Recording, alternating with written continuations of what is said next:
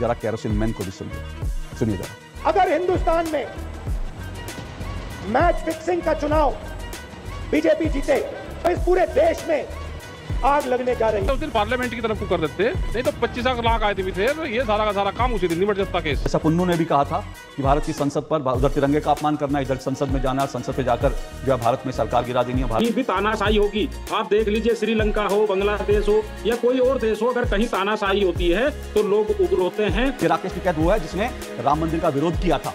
लेकिन ये राकेश टिकैत वो है जो औरंगज़ेब की मजार पर माथा टेकने गया था। देश के किसानों से गद्दारी मत कीजिए। देश के किसानों को बताइए, कैसे आप जैसे किसान चार करोड़ से अस्सी करोड़ कमाते हैं, भारत में दंगे करवाना चाहते हैं। सिर्फ़ इसलिए क्योंकि आप बैठकर सत्ता की मलाई खाना चाहते हैं।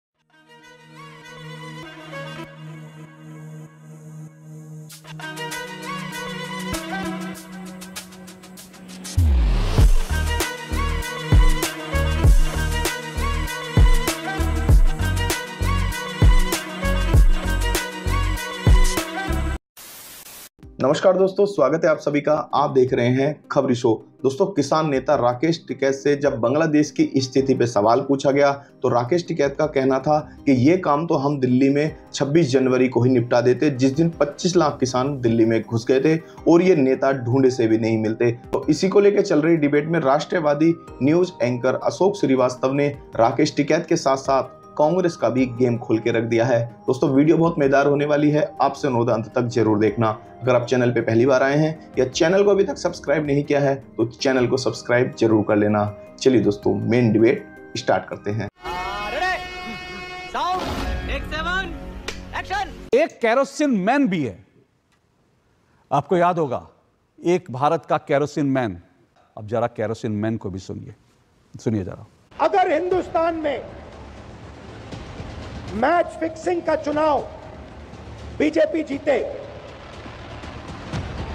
और उसके बाद संविधान को उन्होंने बदला। तो इस पूरे देश में आग लगने जा रही है। चुनाव में दिया राहुल का बयान था और दूसरा बयान अंग्रेज़ी में था जो उन्होंने ब्रिटेन में दिया था कि भारत में कैरोसिन छिड़की हुई है, सिर्फ़ एक चिंगारी दिखाने की ज़रूरत है। बांग्लादेश में तो ये बताएगी नहीं आगे सरकार क्या लग रहा है? भाई, बांग्लादेश में पंद्रह साल से जो आदमी सत्ता पर काबिज है, विपक्ष के नेता साहब जेलों में बंद है तो यही तो और सोचता है। अब वे सारे बंद है। उन्हें भागने कहाँ दिया? सारे बंद है। यही हाल यहाँ होगा। ये ढूंढे नहीं मिल देंगे जनता बहुत गुस्से में ये तो उस दिन जब ट्रैक्टर लेकर दिल्ली गए ये उन्हें बहका दिया कि लाल किले पे चल जाओ अगर ये उस दिन पार्लियामेंट की तरफ़ को कर देते। वो तो 26 जनवरी थी नहीं तो 25 लाख आदमी थे तो ये सारा का सारा काम उसी दिन निपट जाता केस। ये निपटेगा चूक चूक रह गई थोड़ी। और रहेगी चूक। उन्होंने कहा कि तैयारी तो 26 तारीख को ही थी 26 जनवरी को थी। 26 जनवरी को इन्होंने बहका दिया लाल किले भेज दिया। बहका दिया मतलब इन्होंने किसने? पुलिस ने और जब जो लोग जिन लोगों ने ट्रैक्टर उसकी परमिशन दी थी। तो राकेश टिकैत कहता है कि 26 जनवरी को बहका दिया, नहीं तो उसी दिन पूरी तैयारी थी, हम लोग संसद जाते और उसी दिन काम हो जाता। तो क्या ये योजना पहले ही थी? जैसा पुन्नू ने भी कहा था कि भारत की संसद पर उधर तिरंगे का अपमान करना, इधर संसद में जाना और संसद पे जाकर जो है भारत में सरकार गिरा देनी है, भारत में सत्ता पर कब्जा करना क्या ये पूरा प्लानिंग से हुआ था? आप लोगों को इसकी जानकारी है जो राकेश टिकैत ने जो खुलासा किया? अशोक जी, आप काफ़ी सीनियर पत्रकार हैं और करीब मुझे लगता है कि बहुत लंबे समय से आप देश के इस प्रतिष्ठित चैनल, जो हमारे सरकारी चैनल है, उसको देख रहे हैं। लेकिन जिस भाषा का प्रयोग आपने विपक्षी दलों के लिए और सामाजिक संगठनों के लिए किया, मुझे उससे आपत्ति है। क्योंकि सरकारें आती जाती रहती हैं, और आप लोग, आपको हमने उस वक्त भी देखा है, जब ये सरकार नहीं थी और ये सरकार दो में थी और ये रोड पर चल रहे थे, तमाम धरने प्रदर्शन कर रहे थे और ये वही लोग हैं जिन्होंने 50 साल तक तिरंगे को नहीं अपना मैं आपको बताना चाहता हूँ कि हमारे पूर्वज तो वो थे जो छोटी छोटी बातों पर रामायण और महाभारत कर देते थे, लेकिन ये तो गांधी जी थे जो हमको मोमबत्ती पकड़ा गए और आज हम आंदोलन के रास्ते पर हैं और हम भारत के लोकतंत्र को मानते हैं और अहिंसावादी तरीके से अपनी बातों को रखते हैं। और आप दंगई और क्रोसिन मैन और ये कहना उचित नहीं है, क्योंकि हमारे जितने आंदोलन होते हैं, वो सब शांतिपूर्वक होते हैं और उनको गांधीवादी तरीके से हम करते हैं। वो लोग हैं जो लोकतंत्र को दबाना चाहते हैं, जो हमारे लिए कीले रोकते हैं और हमको रोकना चाहते हैं। क्या आप नहीं चाहते कि कोई आवाज़ हो तो उसको उठाया जाए? लोकतंत्र का यही मतलब होता है। और उन्होंने जो कहा है वो कहा है कि कहीं भी तानाशाही होगी। आप देख लीजिए श्रीलंका हो बांग्लादेश हो या कोई और देश हो अगर कहीं तानाशाही होती है तो लोग उग्र होते हैं और शांतिपूर्वक भी आंदोलन करते हैं और सत्ताएँ बदल जाती हैं। मलिक जी साबित मलिक जी। साबित मलिक जी मैंने फिर साबित मलिक जी सुनिए। साबित मलिक जी आप सुनिए। आंदोलन कर कर साबित मलिक जी सुनिए। मैं आपसे साबित मलिक जी सुनिए। साबित मलिक जी सुनिए। आपको ये शिकायत रहती है कि भाई मैं आवाज़ बंद कर देता हूँ और मेरी वो शिकायत सुनिए। तीसरी बार मैं आपसे सवाल पूछ रहा हूँ। ठीक है ना? मैंने अभी तानाशाही वाली बात पे आया नहीं मैंने तीसरी बार आपसे सवाल पूछा। तीसरी बार सवाल पूछ रहा हूँ और उसके बाद भी आपका जवाब नहीं आएगा तो मुझे दूसरे मेहमानों के पास जाना पड़ेगा। उसके बाद अगर आप बोलते रहेंगे तो मुझे कोई फ़र्क नहीं पड़ता। और मैं चाहूँगा फिर दूसरे मेहमान भी आ, आ, आ, आपकी तरह जो है पूरे आदर के साथ मैंने बुलाया उनको भी बोलने का मौका मिलना चाहिए। इसलिए आपके साथ और मेरी ये गुफ्तगु अकेली नहीं है। इसलिए मैं तीसरी बार आपको मौका दे रहा हूँ सवाल पूछने का। मैंने सीधा सीधा पूछा कि राकेश टिकैत ने ये खुलासा किया है कि छब्बीस जनवरी को ही पूरी तैयारी थी। वो तो हमको भेज दिया इंडिया लाल किले की तरफ़। नहीं तो 26 तारीख को ही हमारी तैयारी थी पार्लियामेंट की तरफ़ जाने की और उसके बाद देश की सत्ता को पलट देने की। मैंने पूछा आपको ये जानकारी थी? ये राकेश टिकैत की अपनी योजना थी। नहीं ऐसी कोई किसी संगठनों को जानकारी नहीं थी ना ही कोई ऐसा उद्देश्य था। लेकिन जो आपने कहा इसका मतलब यह है कि साबित मलिक जो किसान आंदोलन में शामिल थे उनको ये पता नहीं था कि राकेश टिकैत का क्या षड्यंत्र कर रहे थे। राकेश टिकैत जो षड्यंत्र कर रहे थे, उसके बारे में साबित मलिक को नहीं पता था। उसके अलावा इसका मतलब साबित मलिक को नहीं पता था। इसका मतलब बाकी नेता। अब इसके दो मतलब हैं। या तो राकेश टिकैत जैसे बड़बोला नेता है तो बड़बोलेपन में उसने बयान दिया है। मैं कभी इस तरह की भाषा का इस्तेमाल नहीं करता राकेश टिकैत के लिए। कभी नहीं करता। वो बहुत महान नेता नरेश वो वो वो टिकैत, बाबा टिकैत के बेटे हैं।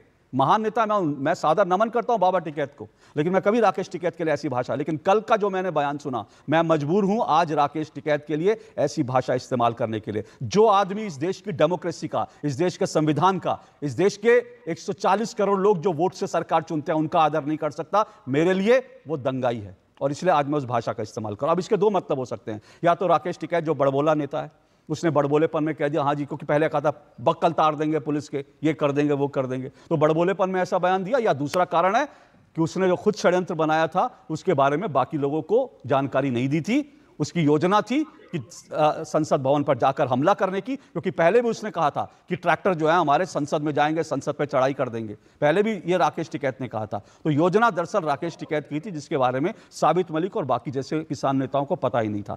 राकेश टिकैत कौन है, उसके बारे में भी जान लीजिए। जिन लोगों का समर्थन करने वाले वो भी जान ले। ये राकेश टिकैत वो है जिसने राम मंदिर का विरोध किया था। लेकिन ये राकेश टिकैत वो है जो औरंगज़ेब की मजार पर माथा टेकने गया था। आप समझिए किस तरह का व्यक्ति है? राम मंदिर का विरोध किया, सनातन धर्म को गालियाँ दी मतलब सनातन का अपमान किया कि ये मंदिरों में लोग ऐसे जाते हैं, ये होता है। लेकिन उसके बाद औरंगज़ेब की मजार पर माथा टेकने गया था। तो राकेश टिकैत जो तब नज़र नहीं आया, और साबित मलिक जी भी नज़र नहीं आए। मुझे वादा भी किया था, मुझे मालूम नहीं साबित मलिक जी, आपने वादा किया था मेरे कार्यक्रम में, अगर आपके पास तस्वीर हो तो मुझे दिखाइए, मैं फ्लैश भी करूँगा। 1200 किसान कर्नाटक में आत्महत्या करी थी। एक किसान नेता वहाँ नहीं गया। राकेश टिकैत को एक बार चिंता नहीं हुई, क्योंकि वो राकेश टिकैत, क्योंकि कांग्रेस के इस वक्त नाम पर राजनीति कर रहा है। इसलिए जो है, कर्नाटक में जाता है तो उसको जो है, जो कांग्रेस से जो जो सांठगांठ है ना वो वो फिर धरी रह जाती। ममता बनर्जी का भी आज सपोर्ट इसलिए किया, देश के खिलाफ। रुकिए साबित मलिक, सुनिए, सच्चाई बोल रहा हूँ। सुनिए, तस्वीरों तो दिखाइएगा। 1200 किसानों के परिवारों का दर्द आप जानने के लिए गए थे तो। तस्वीरों तो मुझे भेजिए, मैं अभी चलाता हूँ। 2014 में जब चुनाव हुआ था, सोचिएगा, ये भी देखिए 2014 में जब चुनाव हुआ था और चुनाव के समय जब इनकी जमानत जब्त हुई थी, दो बार चुनाव लड़ा, दोनों बार जमानत जब्त हुई, तब इसने जो अपने संपत्ति का ब्यौरा दिया था, साढ़े चार करोड़ रुपए दिया था। और अब ये मीडिया रिपोर्ट कहती है कि इस वक्त अस्सी करोड़ रुपए राकेश टिकैत की संपत्ति है। आप समझ लीजिए, इस देश में कौन लोग किसान आंदोलन की अगुवाई कर रहे हैं? कौन लोग किसानों के नाम पर जो है मलाई खा रहे हैं? कौन लोग किसानों के नाम पर जो है दुनिया भर से पैसा इकट्ठा कर रहे हैं? क्या क्या कर रहे हैं? ये कच्चा चिट्ठा आपके सामने है। मैं कह रहा था, आपको एक किसान की संपत्ति तो दिख गई। आपने कभी माननीय देश के गृह मंत्री की संपत्ति का भी उजागर करें कि 2014 से पहले क्या थी और आज क्या है? और माननीय प्रधानमंत्री जी की पहले क्या थी और आज सर क्या प्रधानमंत्री जी की संपत्ति प्रधानमंत्री जी की संपत्ति आपको। पता कितनी है? प्रधानमंत्री की संपत्ति जो है टिकैत से कम है। इस देश का प्रधानमंत्री 10 साल से प्रधानमंत्री है। और उसकी संपत्ति उसके पास एक गाड़ी भी नहीं। सुनिए सुनिए अब आपने अच्छा जब वो बा- घर से आपने बहुत बढ़िया बात तो कही। आपने बहुत बढ़िया बात कही। इस तो भारत के प्रधानमंत्री के पास भारत के तो प्रधानमंत्री के पास अपनी एक गाड़ी नहीं और जो किसान नेता है उसके पास गाड़ियों का शोरूम है लग्जरी गाड़ियों का शोरूम है। उसके बाद आप कह रहे हैं कि किसानों की बड़ी अरे अगर राकेश टिकैत जैसे किसान देश में है अगर अगर अगर देश में मैं तो कह रहा हूँ देश का हर किसान राकेश टिकैत जैसा हो। मैं तो कह रहा हूँ देश का हर किसान राकेश टिकैत। लेकिन राकेश टिकैत राकेश टिकैत थे। ने याकूत संपत्ति तो कैसे कमाई? इसके बारे में बाकी किसानों को भी बता दें। राकेश टिकैत बता दें बाकी किसानों को भी कि चार करोड़ से अस्सी करोड़ रुपए कैसे कमाए जाते हैं दस साल के अंदर? बताइए आज बताइए आज देश को फॉर्मूला बताइए। चार करोड़। से अस्सी करोड़। देश के किसानों को बताइए फॉर्मूला चार करोड़ से अस्सी करोड़। दस साल में कैसे कमाई होती है? बताइए? कैसे एक किसान कैसे एक किसान लग्जरी गाड़ियों का। शोरूम खोलता है। कैसे किसान बैंकेट कि हॉल खोलता है? तो ये फॉर्मूला बताइए। साबित मलिक ये फॉर्मूला बताइए देश को। आज बताइए देश के किसानों को। साबित मलिक देश के किसानों को फॉर्मूला बताइए। चार करोड़ से अस्सी करोड़ कमाने का। देश के किसानों से गद्दारी मत कीजिए। साबित मलिक देश के किसानों से गद्दारी मत कीजिए। देश के किसानों को बताइए कैसे आप जैसे किसान चार करोड़ से अस्सी करोड़ कमाते हैं। पूरे देश के किसानों को बताइए। देश के किसानों से गद्दारी बंद कीजिए और एक तस्वीर दिखाइए आप बारह सौ किसानों का दर्द जानने गए थे। साबित मलिक चैलेंज कर रहा हूँ। एक तस्वीर दिखाइए आप में से एक भी नेता 1200 किसानों का दर्द जानने के लिए पहुँचा था। एक तस्वीर दिखाइए। आप सब लोग डबल स्टैंडर्ड हैं। सिर्फ़ भारत में दंगा करना चाहते हैं। भारत में दंगे करवाना चाहते हैं। सिर्फ़ इसलिए क्योंकि आप बैठकर सत्ता की मलाई खाना चाहते हैं। तुम्हें शर्म है कुछ? कुछ शर्म आया है? दोस्तों, अगर आपने वीडियो अंत तक देखी है तो उम्मीद करता हूँ आपको वीडियो पसंद आई होगी। दोस्तों, वीडियो के बारे में आपकी क्या राय है, कमेंट्स करके ज़रूर बताएँ। वीडियो को अंत तक देखने के लिए आप सभी का बहुत बहुत धन्यवाद। मिलते हैं बहुत जल्द अगली वीडियो में। तब तक के लिए जय हिंद, वंदे मातरम।